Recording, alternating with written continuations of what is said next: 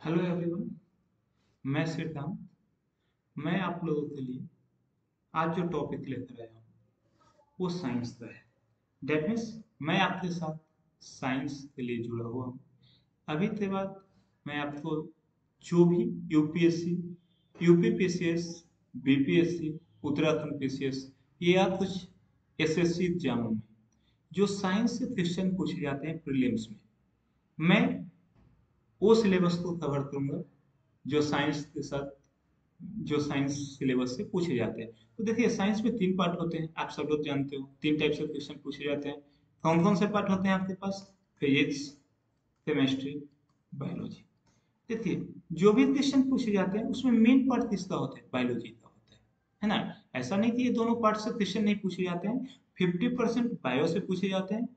Fifty percent physics और chemistry दोनों से होते और आज के डेट में मैक्सिमम जो एग्ज़ाम है मैक्सिमम जो एग्ज़ाम है, उसमें अगर प्रीलिम्स के लिए जाए स्टेट पीसीएस के प्रीलिम्स के लिए जाए तो आपको इससे क्वेश्चन आते ही हैं।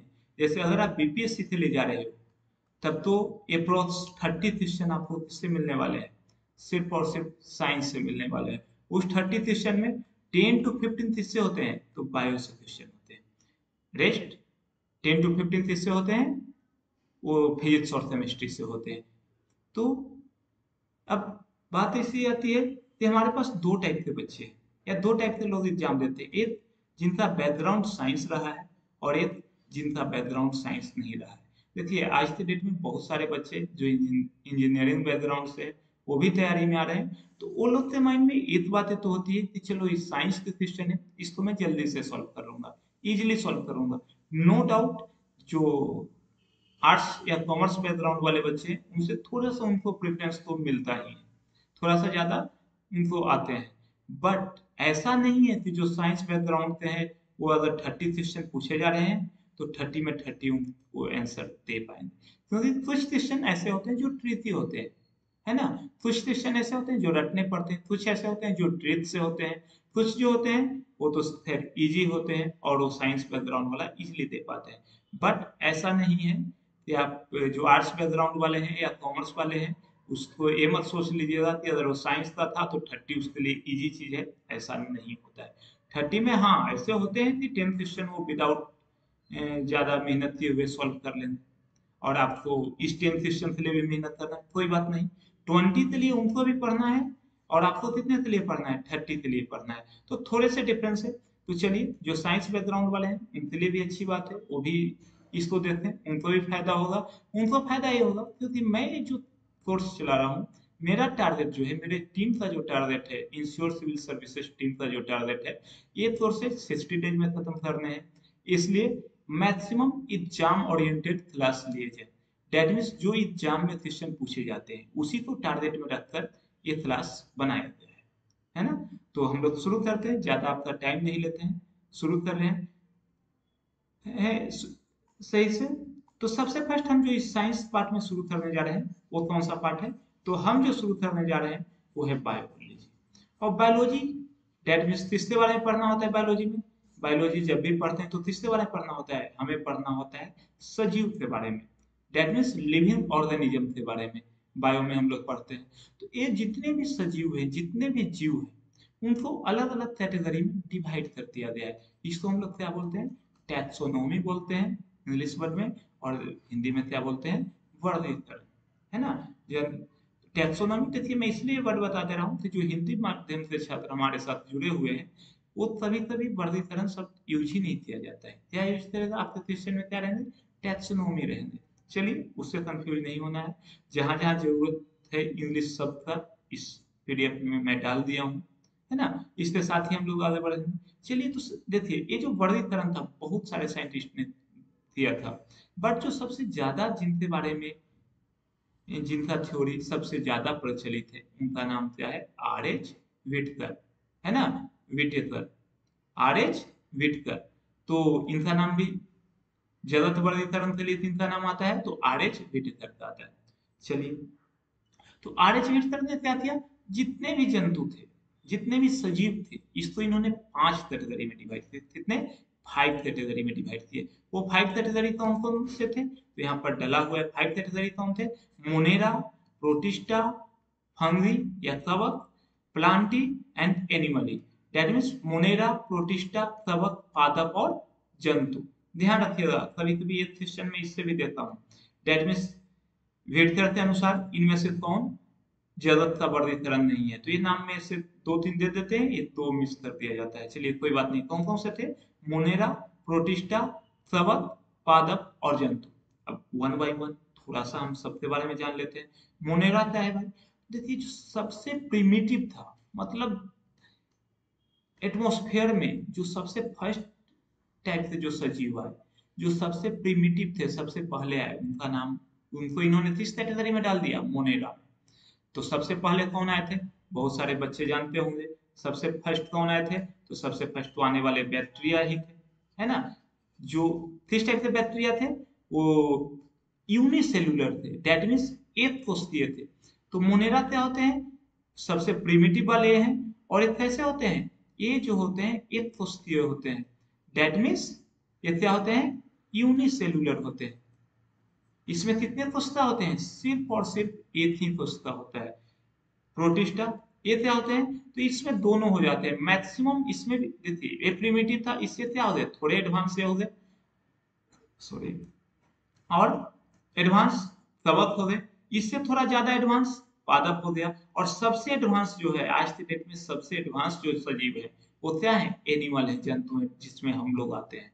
हम लोग भी क्या है? एनिमल कैटेगरी में आते हैं। विटकर के अनुसार ह्यूमन भी क्या है? या जितने भी जो जंतु हैं, वो सब क्या है? एनिमल है। डेट मीन्स ऐसा मत सोच लीजिएगा कि आपको कभी कभी मज़ाक में बहुत सारे लोग बोले होंगे तेरे दम जानवर जैसे हो। तो आप बुरा मत मानना, क्योंकि सारे विटकर के अनुसार क्या है? सारे इंसान जानवर कैटेगरी में ही है मतलब जंतु कैटेगरी में ही है। है ना? एनिमल ही है। तो चलिए और आते हैं हम लोग। मोनेरा के बारे में चर्चा कर रहे थे। तो मोनेरा क्या होते हैं? सबसे प्रिमिटिव और क्या होते हैं? एक पुष्टीय होते हैं यूनिसेल्युलर होते हैं।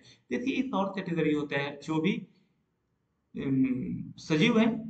ये इनको इनके कोशिका के आधार पर दो पार्ट में हम लोग डिवाइड करते हैं। एक तो क्या बोलते हैं? प्रोथ्रियोटिक और दूसरे को क्या बोलते हैं? यूथ्रियोटिक तो ये जो मोनेरा होते हैं, ये क्या होते हैं? प्रोथ्रियोटिक जीव होते हैं। मोनेरा क्या होते हैं? प्रोथ्रियोटिक जीव होते हैं। इसके बाद जो प्रोटिस्टा होते हैं, वो क्या होते हैं? वो यूथरियोटिक होते हैं। सिर्फ़ मोनेरा ही प्रोथरियोटिक होता है। प्रोटिस्टा क्या होते हैं?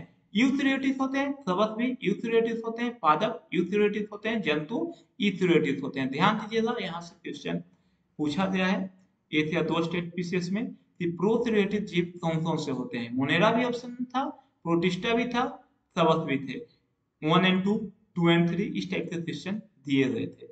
आपको क्या है? इसमें आंसर देना है तो सिर्फ़ और सिर्फ़ क्या देना है? मोनेरा। है ना? मोनेरा प्रोथ्रियोटिक होते हैं, बाकी सब क्या होते हैं? यूथ्रियोटिक होते हैं। अब मोनेरा के बारे में एक चीज़ हमने और बताई क्या होता है? यूनिसेलुलर होता है। अब देखिए, मोनेरा के कैटेगरी में कौन से जीव आते हैं? तो जितने भी बैक्टीरिया हैं, वो सबके सब किसमें आते हैं? मोनेरा में आते हैं। जो भी बैक्टीरिया है, वो मैक्सिमम किसमें आते हैं? मोनेरा में ही आते हैं। बैक्टीरिया टेटमिस मोनेरा। अब मुनीरा का एक और खासियत है। खासियत बोलो या इसके बारे में एक चीज़ और जानना है। मुनेरा में क्या होता है? इसमें न्यूक्लियस नहीं होते हैं, केंद्रक प्रॉपर डेवलप नहीं होते तो मुनेरा में क्या होता है? न्यूक्लियस नहीं होते इसमें क्या होते हैं? न्यूक्लियोइड होते हैं। क्या होते हैं इसमें? न्यूक्लियोइड होते हैं। संगठित न्यूक्लियस नहीं होता है, संगठित केंद्रक नहीं होता है। तो इसमें क्या होते हैं? इसमें न्यूक्लियोइड होते हैं। और इसका जो कोशिका का अंग होता है, देखिए ही कोशिका होता है तो इसके सारे अंग सही से डेवलप नहीं होते हैं। कोशिकांग जो है कोशिका के अंदर जो जो अंग होते हैं, देखो कौन कौन से अंग होते हैं, इसको जब हम लोग सेल पार्ट पढ़ेंगे, उसमें डिस्कस कर लेंगे तो इसमें का जो कोई, क्या होता है इसमें? न्यूक्लियस न होता न्यूक्लियाइड होते हैं, और इसमें जो कोशिकांग होते हैं, कोशिका का जो अंग होते हैं, सेल ऑर्गेनल जो होते हैं, वो प्रॉपर डेवलप नहीं होते। एक चीज़ आओ इसमें केंद्रिता झिल्ली डेट मीन्स परमिएबल मेम्ब्रेन है ना? इनका क्या होता है? अब होता है इनके पास। केंद्रिता झिल्ली नहीं होते। इसमें कोशिका भित्ति कुछ में पाई जाती है और कुछ में नहीं। अभी कोशिका भित्ति के बेसिस पर डेट में सेल वॉल के बेसिस पर भी बहुत सारे कंपाउंड को अलग किया जाता है, बहुत सारे, जो सॉरी कंपाउंड में बोल रहा था, बहुत सारे जो जीव हैं, इनको अलग किया जाता है किसके बेसिस पर? तो सेल वॉल के बेसिस पर। डेट मीन्स कोशिका भित्ति के बेसिस पर। तो मोनेरा में क्या होते हैं? कुछ बैक्टीरिया ऐसे हैं, जिसमें कोशिका भित्ति नहीं पाई जाती, कुछ में कोशिका भित्ति पाई जाती है। अब देखिए, जिसमें कोशिका भित्ति पाई जाती है, वो किस फॉर्म में मिलती है? तो वो जो होती है, उसको हम लोग क्या बोलते हैं? उसको बोलते हैं हम लोग पेप्टिडो ग्लाइथेन किस फॉर्म में होती है? तो वो जो होती है, पेप्टिडो ग्लाइथेन के फॉर्म में होती है। किस फॉर्म में होती है? पेप्टिडो ग्लाइथेन के फॉर्म में होती है। इसका जो कोशिका भित्ति बनी होती है, वो किससे बनी होती है? पेप्टिडो ग्लाइथोन से बनी होती है। इसको आप लोग ध्यान रखिएगा। अब देखिए सजीव है तो सजीव का दो ही फंडा होता है। जो मेन, दो वर्ग होना चाहिए सजीव को। एक क्या भाई तो भोजन उसको इंटेक करना चाहिए। अगर वो भोजन नहीं ले रहा है तो सजीव नहीं है। दूसरा, अगर वो अपना वंश वृद्धि नहीं कर रहा है तो वो भी सजीव नहीं है। जैसे अगर आपका जो प्रेजेंट कंडीशन है, अगर उससे ज़्यादा आपका वंश नहीं हो रहा है तो क्या हो जाएगा? एक न एक टाइम में आप डेड हो जाएँगे। तो सजीव का दो लक्षण है। एक क्या है? भोजन लेना। दूसरा, वंश वृद्धि। तो ये अपना भोजन जो होता है कैसे लेते हैं? तो देखिए, मुनेरा जो होते हैं, दोनों टाइप का होते हैं। ये स्वयं पोषी भी होते हैं डेट मीन्स अपना फ़ूड खुद निर्माण करते हैं। डेट मीन्स किससे हेल्प से? खुद से खुद से निर्माण किससे किया जाता है? तो फोटोसिंथेसिस। डेट मीन्स प्रकाश संश्लेषण के थ्रू ये अपना फ़ूड खुद भी निर्माण करते हैं और कुछ क्या होते हैं, जो मृत जीवी या परजीवी होते हैं। मृत जीवी डेट मीन्स जो डेड बॉडी है है ना? कोई मरे हुए पार्ट हैं, किसी भी सजीव का उसको खाकर जीवित रहते हैं या परजीवी मतलब किसी दूसरे जीव के साथ अटैच्ड हो जाते हैं। जैसे अभी बहुत सारे बैक्टीरिया जो भी हमारे शरीर में बीमारी का कारण बनते हैं, वो सारे किससे? क्या होते हैं परजीवी ही होते हैं, हमारे शरीर में आ जाते हैं और जो हमारे शरीर के अंदर एनर्जी है, उसी से इंटेक करते हैं, उसी से भोजन बनाते हैं। चलिए तो मुनेरा के बारे में ये जानना ज़रूरी था। अब इसमें और भी डिटेल है, जब हम सेल पढ़ेंगे तो सेल के अनुसार भी इसको थोड़े से कैटेगराइज करेंगे। चलिए, मुनेरा में देखिए, जो मेन क्वेश्चन दो तीन बार पूछा गया है, वो तीसरे बारे में इस एग्ज़ाम्पल से पूछा गया है। ग्रीन एलदी क्या होता है? ब्लू ग्रीन एलदी नील हरित शैवाल, है ना? ये किस कैटेगरी हैं? मोनेरा के हैं। तो ध्यान रखिएगा, ब्लू ग्रीन एलदी ये किस कैटेगरी हैं? तो मोनेरा के हैं। साइनोबैक्टीरिया ये भी मोनेरा के हैं। बैक्टीरिया के बारे में तो हमने बताया ही। माइक्रोप्लाज्मा, है ना? तो हम लोग मोनेरा के बारे में इतना ही जानेंगे ये तो क्वेश्चन में इसके बेसिस पर दूँगा। आगे के क्लासों में। आज तो नहीं बट आगे के क्लासों में। देखिए, अगला क्लास जो आपका होगा, इस टेक्सोनोमी से क्वेश्चन उसमें रहेंगे। पहले मैं क्वेश्चन डिस्कस कर लूँगा। उसके बाद हम आगे बढ़ेंगे। चलिए, सही बात है। तो हम मोनेरा के बारे में थोड़ा सा जान क्या जान लिया सबसे फ़र्स्ट ये प्रिमिटिव है। यूनिसेलुलर है और किस टाइप का है? प्रोथेरियोटिक है। इसमें कोई भी न्यूक्लियस केंद्रक नहीं होता है। इसमें क्या मिलते हैं? न्यूक्लियोइड मिलते हैं, है ना? और इसमें केंद्रिता झिल्ली भी नहीं होता है। कुछ में सेल वॉल पाया जाता है डेट मीन कोशिका भित्ति पाई जाती है और कुछ में कोशिका भित्ति नहीं पाई जाती है। ये जो है, क्या करते हैं? तो प्रकाश संश्लेषण के द्वारा अपना भोजन बनाते हैं और कुछ होते हैं वो क्या होते हैं? कुछ जो होते हैं, परजीवी होते हैं, है ना? तो अगर आपको इससे रिलेटेड कुछ चाहिए, किसी को है तो यहाँ पर आप यहाँ ध्यान दीजिए। स्क्रीन शॉट ले सकते हैं इस पेज का, ताकि आपको बाद में इससे जुड़ी जानकारियाँ मिलती रहे। चलिए, आते हैं। अच्छी बात है। अगले कैटेगरी पर अगला जो वर्गीकरण है, वो क्या है? प्रोटिस्टा है। नेक्स्ट वर्गीकरण क्या है मेरा? प्रोटिस्टा फ़र्स्ट क्या था? मोनेरा सेकेंड प्रोटिस्टा थर्ड सबत या फंगी फोर्थ प्लांटी या पादप फिफ्थ एनिमल डेट मीन्स जंतु। तो यहाँ ध्यान दीजिए, हमने आपको बताया था, मोनेरा क्या होता है? प्रोथ्रियोटिव होता है बट प्रोटिस्टा क्या होते हैं? ये जो होते हैं यूथ्रियोटिव जीव होते हैं। और देखिए, इसमें भी क्या होता है, मोनेरा भी क्या था? यूनिसेलुलर था। इस, ये भी क्या होते हैं? मैक्सिमम यूनिसेलुलर ही होते हैं। बट ये क्या तो इसमें क्या होते हैं? कुछ भी ऐसे भी मिलते हैं, जो मल्टी सेलुलर भी मिल जाते हैं बट मैक्सिमम क्या होते हैं? यूनिसेलुलर ही होते हैं। डेट मीन्स ज़्यादा से ज़्यादा क्या होते हैं? एक पुस्तीय होते हैं। एक या दो होते हैं जो बहुत पुस्तीय मिल जाते हैं, है ना? जैसे बहुकोषीय था जो एग्ज़ाम्पल यहाँ पर दिए हुए क्या होते हैं? जो समुद्री घास होते हैं, वो भी किस कैटेगरी के हैं प्रोटिस्टा क्वेश्चन आपको इसी टाइप से पूछा जा सकता है कि समुद्री घास है, वो किस टाइप के हैं। मोनेरा है, प्रोटिस्टा है, एनिमली है देखिए घास के बाद बहुत बच्चे क्या कर रहे हैं, इसको पादप कैटेगरी में डाल देंगे, या कुछ लोग इसको फंगस कैटेगरी में डाल सकते हैं, नहीं, ध्यान रखिएगा। समुद्री घास किसमें होते हैं? तो किस कैटेगरी के हैं ये जो है प्रोटिस्टा कैटेगरी के हैं, है ना? प्रोटिस्टा वर्गीकरण के अनुसार आते हैं। चलिए, और प्रोटिस्टा में भी क्या है? एक कुश्तियाँ नहीं है, क्या है? बहुत कुश्ती होते हैं। देखिए, जब प्रोटिस्टा था इनिशियली लोग प्रोटिस्टा को क्या करते थे? तो प्लांट कैटेगरी में रखते थे। किसमें रखते थे? प्लांट कैटेगरी में रखते थे। लेकिन बाद में पता चला कि नहीं, ये ना तो प्लांट कैटेगरी में है, नहीं एनिमल कैटेगरी में है। और नहीं इसको हम रख सकते हैं किसमें फंगी में भी नहीं रख सकते। हैं ये तीनों में से तो ये क्या है? तीनों बीच का है। न तो ये प्लांट है। देखिए, कुछ लक्षण इसमें प्लांट वाले भी होते हैं, कुछ लक्षण क्या होते हैं? एनिमल वाले भी होते हैं, और कुछ लक्षण क्या होते हैं? फंगस वाले भी होते हैं। तीनों के लक्षण है इसमें। कवक वाले भी हैं बट ये तीनों में से किसी कैटेगरी में नहीं है। इसलिए इसको क्या बोला जाता है? ये पादप जंतु एवं कवक जगत सॉरी बीच का शरीर, है ना? देखिए अब हमने क्या बोला था? सेल वॉल के बारे में पढ़ा था। क्या बोला था हमने? ये जो होते हैं मोनेरा उसमें सेल वॉल कुछ में होते हैं कुछ में नहीं होते और अगर सेल वॉल होते हैं मोनेरा के सेल वॉल होते हैं तो किससे बने होते हैं? तो वो जो बने होते हैं पेप, पेप्टिडोग्लाइकोन से बने होते हैं। किससे बने होते हैं? पेप्टिडोग्लाइकोन से बने होते हैं। मोनेरा का सेल वॉल किससे बना होता है? पेप्टिडोग्लाइकोन से बना होता है। ध्यान दीजिएगा, मोनेरा का सेल वॉल किससे बना होता है? पेप्टिडोग्लाइकोन से बना होता है। अब प्रोटिस्टा प्रोटिस्टा के सेल वॉल किससे बने होते हैं? तो प्रोटिस्टा में देखिए किसी किसी में सेल वॉल होता है कहीं कहीं यहाँ भी नहीं होते हैं, है ना? कुछ में होते हैं और कुछ में नहीं होते और अगर वो सेल वॉल होता है तो किससे बना होता है? सेल वॉल अगर जिसमें है वो किससे बने होते हैं? वो जो बने होते हैं, सिलिका से बने होते हैं। किससे बने होते हैं? सिलिका से बने होते हैं। तो मोनेरा में किससे बना होता है? पेप्टिडोग्लाइकोन से बना होता है।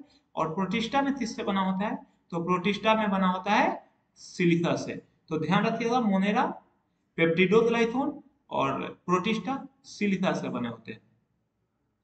यहाँ केंद्रक झिल्ली पाई जाती है है ना? वहाँ क्या था?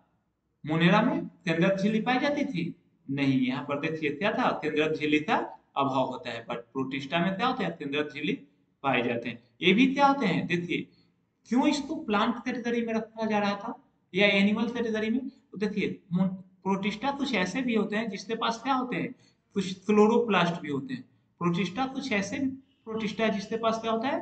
क्लोरोप्लास्ट होता है। और आप लोग जानते होंगे क्लोरोप्लास्ट किसमें हेल्प करता है? तो क्लोरोप्लास्ट जो हेल्प करता है फोटोसिंथेसिस में हेल्प करता है। दैट मींस किसमें प्रकाश संश्लेषण के लिए क्लोरोप्लास्ट हेल्प करता है। तो कुछ प्रोटिस्टा ऐसे होते हैं जिसमें क्लोरोप्लास्ट भी होते हैं। दैट मींस वो खुद से भी खाना बना लेते हैं और कुछ दूसरे के भोजन पर भी डिपेंडेंट होते हैं। जैसे इसका सबसे जो बेस्ट एग्जांपल है, वो क्या है?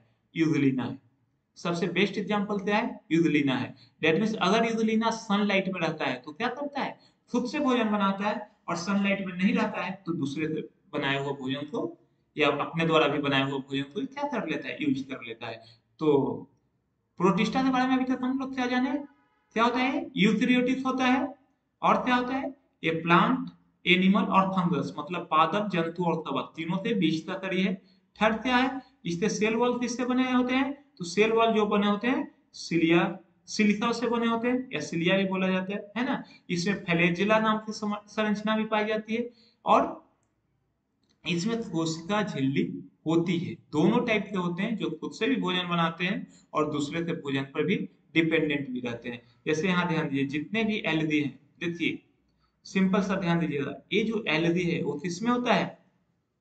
किस कैटेगरी में है? प्रोटिस्टा कैटेगरी में है। बट अगर आप बोल दे रहे हो, क्या? ब्लू ग्रीन एलडी तो ये किस कैटेगरी में आ जाते हैं। तो ग्रीन एलडी जो आते हैं, वो आ जाते हैं मुनेरा कैटेगरी में।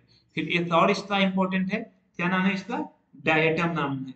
क्या है इसका नाम? डायटम नाम है। और इसमें क्या है? पैरिमिशियम है क्लोरेला है, और एमीबा भी होते हैं। वो भी किसमें होते हैं?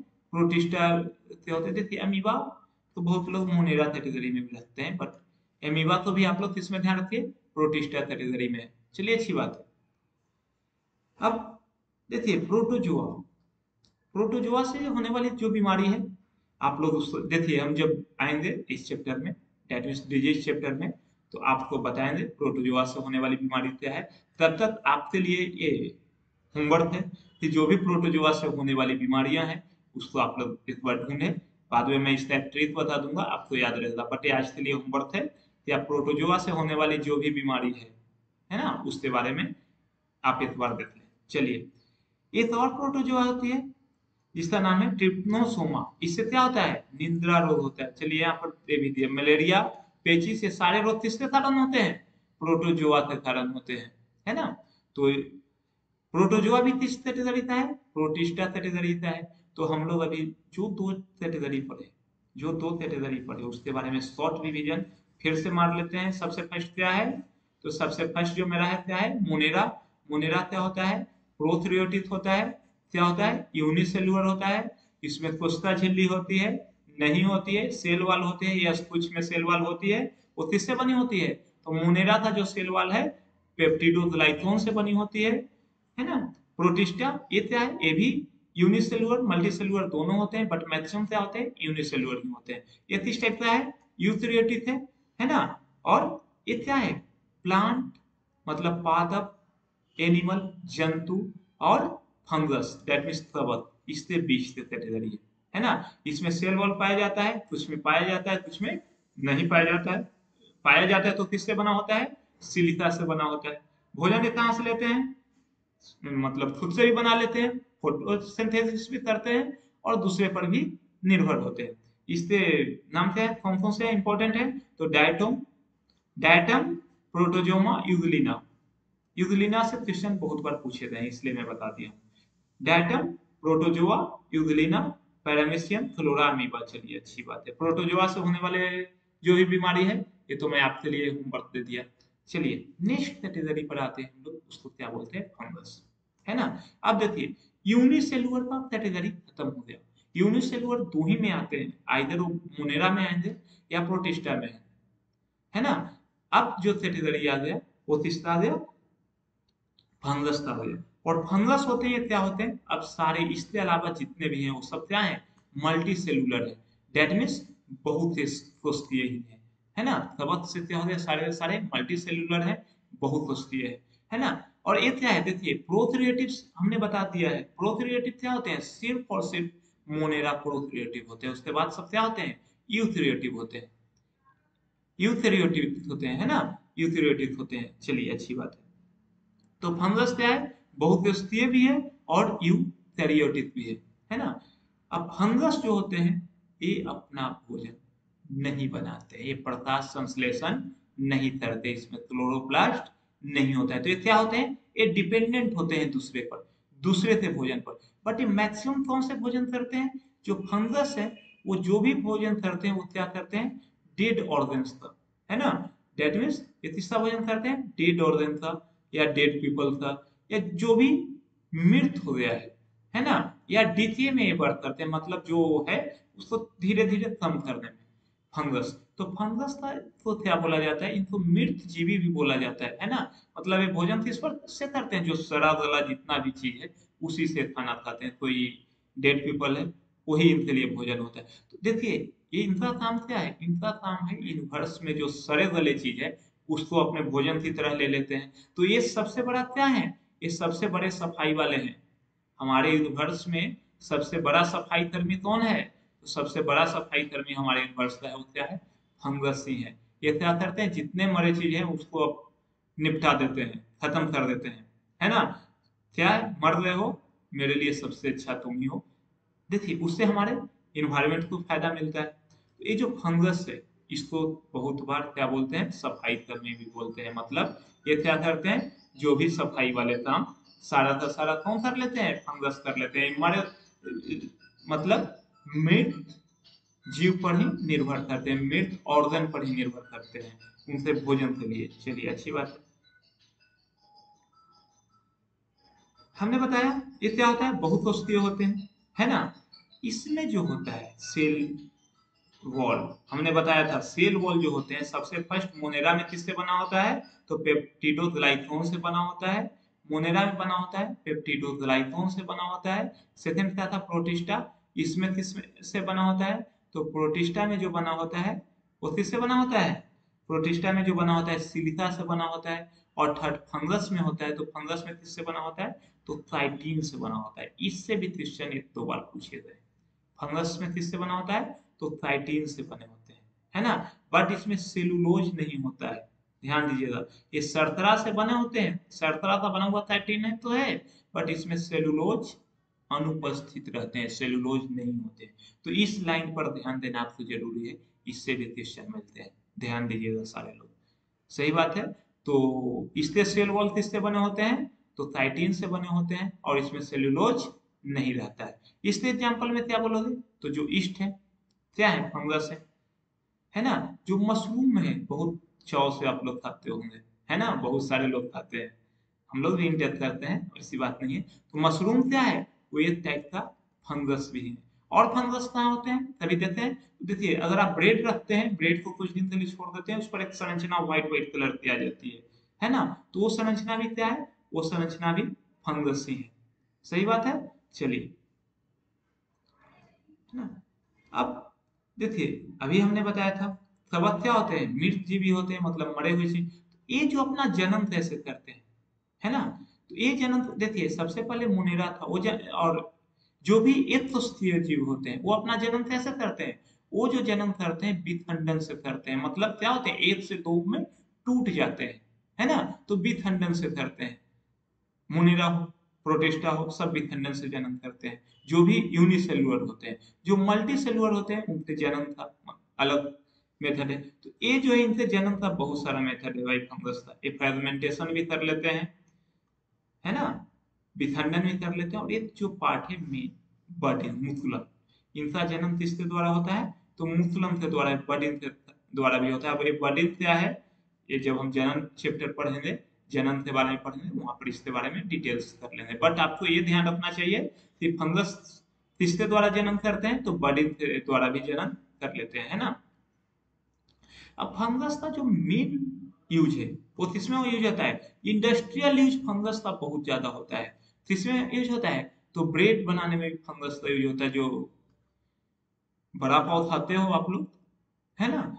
वो सब किससे बनना होता है? तो फंगस उसके लिए जो ब्रेड बनाए जाते हैं, उसमें फंगस का यूज़ किया जाता है। या बहुत सारे इंडस्ट्रियल यूज़ भी होते हैं। देखिए, अभी मैं इनको बोला, क्या है सफ़ाई कर्मी है? ये डेट मृत जीवी होते हैं। तो इनके लिए क्या होता है? इंडस्ट्री में भी इनका यूज़ किया जाता है। इसके लिए? बहुत सारे सफ़ाई के लिए भी और साथ में फ्रेगमेंटेशन के लिए भी। फ्रेगमेंटेशन का जहाँ भी ज़रूरत आएगा फंगस का यूज़ किया जाता है। जैसे बियर वगैरह बनाने में भी। है ना? बहुत सारे फंगस हैं जो ह्यूमन के लिए ज़रूरी है है ना? लाभदायक है है ना? क्या करते हैं? इन्वायरमेंट को भी साफ़ करते हैं। कुछ जैसे देखिए ब्रेड बनाने में हेल्प भी कर रहे हैं तो बहुत सारे लाभदायक हैं। बट जो लाभदायक है, हानिकारक भी तो होगा ही ना? ये तो है जो हानिकारक भी है। हानिकारक कैटेगरी में कौन सा वो क्या कर लेते हैं? तो आदमी को गंजा बना देते हैं। जैसे देखिए, थोड़ा सा हमें बना दिया गया है। चलिए, कोई बात नहीं। आप लोग में भी होंगे। गंजा बना बना देते हैं फंगस के कारण वो जो आप डेंड्रफ जो बोलते हो वो क्या होता है? डेंड्रफ भी एक टाइप का फंगस ही है है ना? डेंड्रफ भी एक टाइप का फंगस ही है। उसके बाद क्या होते हैं? दम्मा भी इसके कारण होते हैं। फिर दांत और खाज जो खुजली होते हैं देखिएगा बहुत बार, जिसके सर में बहुत ज़्यादा डेंड्रफ होते हैं, अगर उसका आप क्या बोल रहे हैं? थॉम, फंगी, आप भी यूज़ कर रहे हो तो आपके शरीर में भी हल्का खुजली हो सकता है। तो देखिए, जो दांत खाज का मेन कारण है वो किसके कारण होता है तो दैट मीन्स फंगस के कारण ही होते, हैं है ना? मशरूम ईस्ट ये सब क्या है? सबक ही है। तो चलिए, हम लोग तीन टाइप पढ़ लिए, मोनेरा, प्रोटिस्टा और फंगस। आते हैं। नेक्स्ट, और भी जो टाइप है तो इस बार हम इसका रिवीजन कर लेते हैं। क्या है भाई? मोनेरा तो मोनेरा क्या होते हैं? एक होते हैं। प्रोटिस्टा क्या होते हैं? वो भी एक होते हैं बट फंगस क्या होते हैं? बहुत होते हैं। मोनेरा क्या होता है?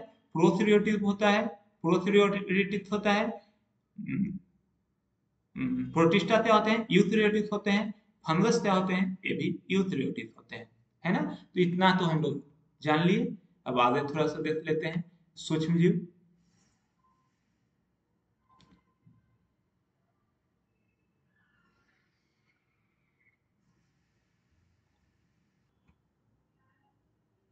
देखिए, हम लोग दो, तीन टाइप पढ़ लिए। कौन कौन सा पढ़ लिए, मोनेरा प्रोटिस्टा और फंगस। चौथे टाइप पर आते हैं, वो क्या है मेरा? पादप प्लांटी है। तो देखिए, पादप डेट मीन्स पौधे। सब लोग जानते हो, पौधे बिना इसका तो हमारा जीवन ही नहीं है। तो हमने बताया था वो क्या? कि सबसे फ़र्स्ट क्या होते हैं? प्रोक्रिएटिव कौन से होते हैं? मोनेरा बाकी सब यूक्रिएटिव होते हैं। तो ये भी क्या होता है? ये भी जो होता है यूक्रिएटिव ही होता है। और क्या होते हैं? अब ये सारे मल्टी सेलुलर हो जाते हैं। डेट इसमें बहुत सारे कोशिकाएँ होते हैं। पादप का जो कैटेगरी बनाया गया है जो प्लांट का कैटेगरी बनाया गया है प्लांटिंग कैटेगरी में जो रखा गया है वो सबसे सबका मेन गुण क्या होना चाहिए? स्वपोषी। अगर वो स्वपोषी नहीं है तो उसको हम पादप नहीं बोले स्वपोषी का मीनिंग क्या है? डेट वो अपना भोजन खुद बना लेता है। किससे बनाता है? तो प्रकाश संश्लेषण से बनाता है और प्रकाश संश्लेषण से बनाता है तो उसमें क्या होना चाहिए? क्लोरोफिल होना चाहिए, है ना? प्रकाश संश्लेषण से बनाता है तो उसमें क्या होना चाहिए? क्लोरोफिल होना चाहिए। तो जिसमें भी क्लोरोफिल है डेट मीन जो अपना भोजन खुद बना लेते हैं, जितने भी जीव हैं, उनको किस कैटेगरी में रखा जाता है? प्लांटी पादप कैटेगरी में रखा जाता है ये दो को छोड़कर, है ना? अब देखिए, जब पादप है, बहुत है तो अब इनसे जितने भी उत्तक होते हैं है ना? सेल के बाद क्या बनता है? उत्तक। और उत्तक से क्या बनते हैं? अंग बनते हैं। ये सब क्या होते हैं? डेवलप हो जाते हैं।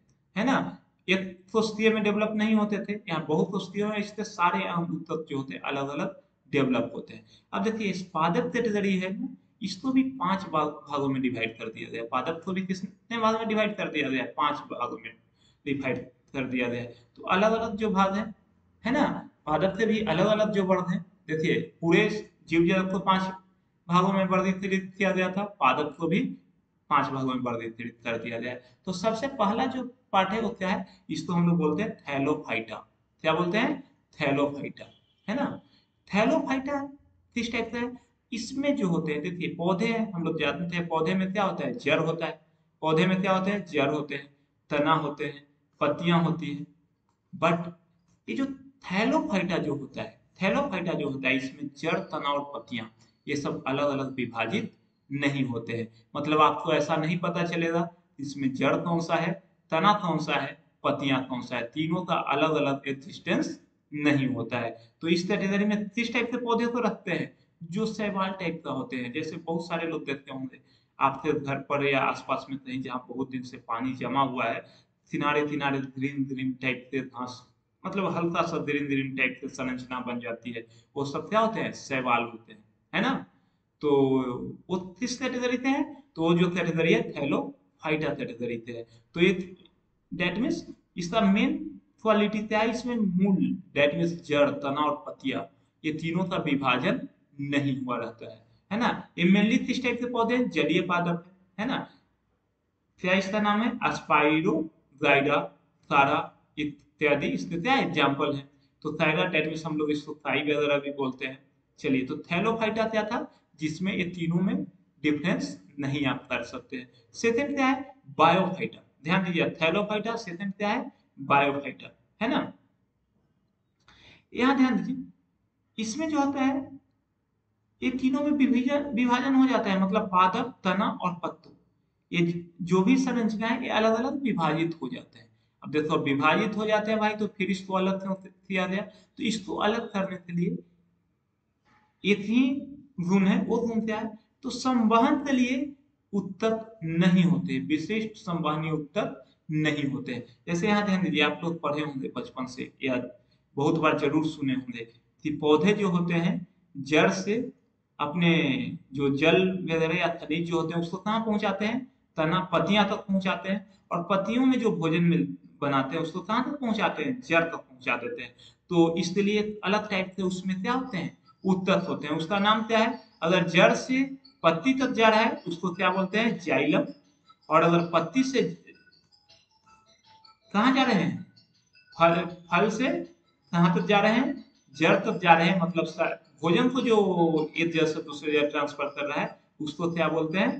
फाइलम जो जड़ से जाते हैं, उसको क्या बोलते हैं? जाइलम। और जो फल से मतलब भोजन को जड़ तक पहुंचाते हैं, उसको क्या बोला जाता है? फाइलम। तो ये जो संवहनी उत्तर है, ये जाइलम और फाइलम क्या है? ये जो है संवहनी उत्तर है। किसके लिए?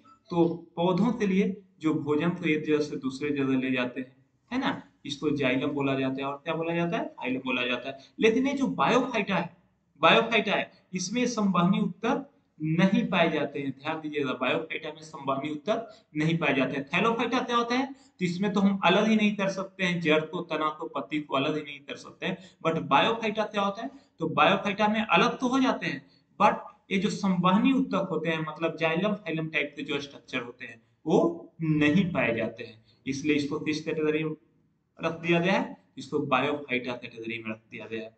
है ना? इस टाइप के पौधे को क्या बोलते हैं? उभयचर भी बोला जाता है। डेट मीन्स इसको मतलब फ्राई वाले कैटेगरी में जो सैवाल है, उस कैटेगरी में भी रखा जाता है और किसमें? जो डेवलप प्लांट है, उसके कैटेगरी में भी रखा जाता है है ना? तो ये जो है उभयचर, पौधों का उभयचर अगर आपसे पूछा जाए कि कौन सा कैटेगरी है तो बायोफाइटा है। देखिए, इसका मतलब उस उभयचर से मत समझ लीजिएगा, जो जल में भी रहते हैं और पानी में भी रहते हैं, है ना? तो पादप वर्ता क्या है? उभयचर है है ना? उभयचर जंतु नहीं है, पादप का उभयचर है। डेट मीन्स ऐसे पादप कहाँ होते हैं? जल में भी पनपते हैं और कहाँ पनपते हैं? जहाँ जल नहीं हो, ज़मीन पर भी पनपते हैं। दोनों जगह पनपते हैं, है ना? थैलोफाइटा क्या था? ये मूल रूप से किस टाइप का था, जलीय पादप था। और एक बायोफाइटा क्या है? ये जो है, पादप हुआ है में से जल, ज़मीन दोनों पर मिलते हैं। इसको आप मेढक से तुलना मत कर दीजिएगा, क्योंकि मेढक क्या है? मेढक जो है जंतु कैटेगरी का है है ना? वो जो है पादप का नहीं है। तो पादपों में उभयचर को क्या बोलते हैं? क्या बोलते हैं उसको? बायोफाइटा बोलते हैं। थैलोफाइटा कहाँ मिलते हैं? तो जल में। बायोफाइटा कहाँ मिलते हैं? तो दोनों में, जल और ज़मीन दोनों में। इसको पादप बढ़ता, उभयचर भी कहा जाता है। है ना? अब जो थर्ड कैटेगरी है, इसको हम लोग बोलते हैं टेरिडोफाइटा। देखो, थैलोफाइटा, बायोफाइटा, टेरिडोफाइटा। देखिए, यहाँ पर पी साइलेंट होता है, इसलिए थोड़ा सा पढ़ने में आपको इशू हो सकता है। तो थैलोफाइटा बायोफाइटा, टेरिडोफाइटा, है ना? अब यहाँ ध्यान दीजिए, देखिए, इसमें क्या था? जड़ तना पत्ती में विभाजन नहीं था, इसमें विभाजन तो हो गया बट संवहनी उत्तर नहीं पाए गए। अब रीडोफाइटा में क्या हो गया? यहाँ विभाजन भी हो गया और संवहनी उत्तर भी पाए जाते हैं, है ना? संवहनी उत्तर भी पाए जाते हैं, है ना? तो इसको क्या बोलते हैं? टेरिडोफाइटा बोलते हैं, है ना? जड़ तना पत्तियाँ ये भी मिलती है और संवहनी उत्तर भी होते हैं। डेट मीन्स जाइलम फाइलम का भी स्ट्रक्चर इसमें मिलता है। तो इस कैटेगरी के पौधे कौन कौन से हैं? तो इस कैटेगरी के जो पौधे हैं, उसको हम लोग क्या बोलते हैं? जो हमारे धान का फ़सल है। धान में भी देखिएगा वो किस टाइप का आएगा टेरिडो फाइटा टाइप से आएगा फर्म जो है, ये जोला जो है, ये सब। ये जोला से एक बार क्वेश्चन पूछा गया है। ये जोला से एक बार क्वेश्चन पूछा गया है। और वो क्वेश्चन क्या था? इसी संवहनी उत्तर से ही रिलेटेड था। डेट मीन्स क्वेश्चन था इसमें किसमें वेस्कुलर टिश्यू नहीं पाए जाते हैं, उसमें एक ऑप्शन एजोला भी था। तो आप ध्यान दीजिएगा, एजोला में वेस्कुलर टिश्यू पाए जाते हैं। अच्छी बात है। अब देखिए, यहाँ पर तीन कैटेगरी अलग बनाया हुआ था, दो कैटेगरी अलग बनाया हुआ था, और रेड कलर में यहाँ पर बता दिया गया है। क्या बता दिया गया भाई? तो अभी जो हम तीन कैटेगरी पढ़े हम पहले बता चुके हैं, कितने कैटेगरी में डिवाइड करते हैं? पाँच कैटेगरी में। क्या होता है पाँचों कैटेगरी?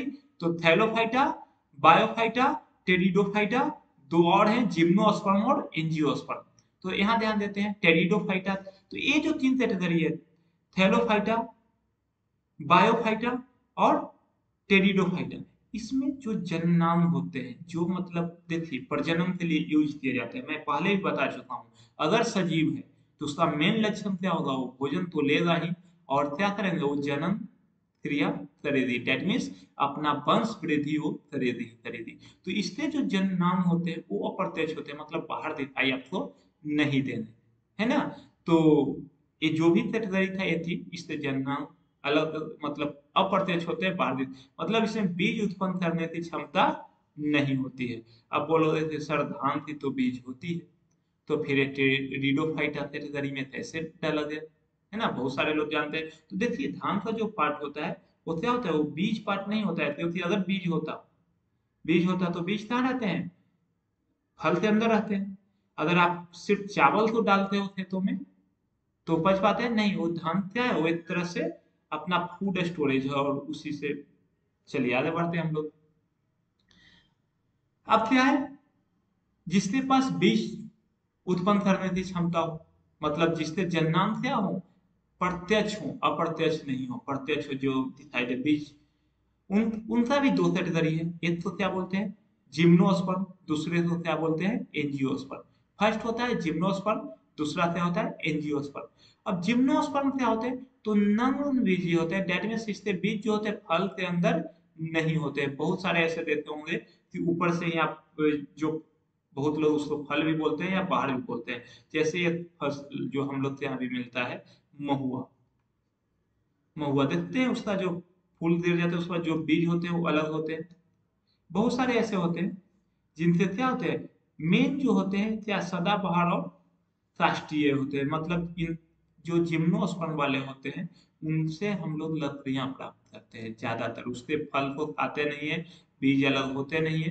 बट इतना हमें डिटेल नहीं जाना है, हमें क्या इसमें याद रखना है। कि जिम्नोस्पर्म होते हैं, उसके बीज क्या होते हैं? नग्न होते हैं। वो फल के अंदर ढके हुए नहीं होते, फल के अंदर नहीं होते। जैसे पाइनस या साइकस को एग्ज़ाम्पल आपको यहाँ पर दे दिए गए हैं। चलिए आते हैं एनजियोस्पर्म के बारे में। तो एनजियोस्पर्म किस टाइप के होते हैं? तो इससे जो बीज होते हैं, वो कहाँ होते हैं? फल के अंदर होते हैं, है ना? और इन बीजों का विकास क्या होता है? अंडाशय बनता है अंडाशय के अंदर होता है। बाद में क्या बन जाते हैं? फल बन जाते हैं। है ना? इनको क्या बोलते हैं? पुष्पी पादप भी कहते हैं। क्यों? बहुत बार आप देखे होंगे, सबसे पहले पौधे में क्या लगते हैं? फूल लगते हैं। फूल के बाद उसमें क्या होता है? निषेचन होता है। निषेचन के बाद वो क्या हो जाते हैं? फूल। धीरे धीरे फल में ट्रांसफ़र हो जाते हैं और फल के अंदर क्या हो जाते हैं? बीज डेवलप हो जाते हैं। तो इस टाइप के पौधे को क्या बोलते हैं? एनजियोस्पर्म तो एक बार फिर से हम लोग जो पादप से वर्ध हैं, पौधे से जो वर्ध हैं, उसके बारे में चर्चा कर ले। क्या है? थैलोफाइटा ब्रायोफाइटा, टेरिडोफाइटा, जिम्नोस्पर्म और एंजियोस्पर्म। ऊपर से जो तीन है, थैलोफाइटा, देखिए इस बार मैं दिखा देता हूँ ऊपर से जो तीन है, कौन सा? थैलोफाइटा, बायोफाइटा, टेरिडोफाइटा, ये सब क्या होते हैं? इसमें प्रत्यक्ष जन्नांग नहीं होते, जिम्नोस्पर्म, एंजियोस्पर्म जो है, इसमें क्या होते हैं? प्रत्यक्ष जननांग होते हैं। चलिए, जिम्नोस्पर्म क्या है? इसके बीज नग्न बीजी होते हैं, एंजियोस्पर्म क्या है? इसके जो बीज होते हैं, फल के अंदर होते हैं। अब आते हैं नेक्स्ट कैटेगरी वो क्या है? जंतु, जिसके अंदर हम लोग आते हैं, है ना? एनिमिलिया देखिए, सबसे फ़र्स्ट और इससे क्वेश्चन भी बहुत बड़ा आया है। सोचता भित्ति रही। दैट मीन्स हमने क्या बताया था? मोनेरा में तो सेल वॉल होते हैं, या कुछ मोनेरा में सेल वॉल होते हैं? सभी में तो नहीं होते बट कुछ है जिसमें सेल वॉल होते हैं। और किससे बने होते हैं? पेप्टिडिडो किससे बने होते हैं? पेप्टिडो ग्लाइकोन से बने होते हैं। और किससे बने होते हैं? पेप्टिडो ग्लाइकोन से होते हैं। मोनेरा में प्रोटिस्टा में होते हैं या किससे बने होते हैं, सिलिका से बने होते हैं। थर्ड क्या था मेरा? मोनेरा, प्रोटिस्टा थर्ड क्या था? फंगी, ये किससे बने होते थे? साइटिन से बने होते थे। और फोर्थ क्या था? प्लांट। तो प्लांट में जो होते हैं, सेल वॉल किससे बने होते हैं? तो सेलुलोज से बने होते हैं। प्लांट का सेल वॉल किससे बना होता है? सेलुलोज से बना होता है। प्लांट का सेल वॉल किससे बना होता है? सेलुलोज से बना होता है। है ना? तो इसको ध्यान दीजिएगा। प्लांट का सेल क्या होता है, सेलुलोज से बना होता है। एक चीज़ और पूछे जाते हैं आपको, फंगस में जो सेल वॉल होते हैं, उसमें सेलुलोज मिलता है? तो नहीं, फंगस के सेल वॉल में सेलुलोज प्रेजेंट नहीं रहता है। चलिए, आते हैं हम लोग, कहाँ पर हैं? तो हम लोग जो है इन जंतु में है, एनमिलिया में है, आते हैं। तो एनमिलिया का सबसे फ़र्स्ट कैटेगरी क्या होता है? इसमें कोई भी सेल वॉल नहीं पाए जाते हैं, ध्यान रखिए है ना? अब देखिए, जंतु है भाई।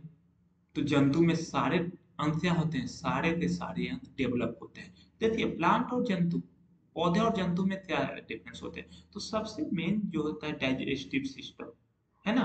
प्लांट में बहुत ज़्यादा डेवलप नहीं होता है। डाइजेस्टिव सिस्टम नहीं बोले इसको, क्या बोल लेंगे हम उसको? उत्सर्जन का जो अंग होता है, जो भी एनिमलिया है, उसमें अच्छी तरह डेवलप्ड होते हैं। बट प्लांट्स में उत्सर्जन का अंग डेवलप नहीं होते हैं, सही से डेवलप नहीं होते। और भी कुछ है, उसके बारे में हम दोनों से बीच का डिफरेंस पढ़ लेंगे। चलिए ठीक।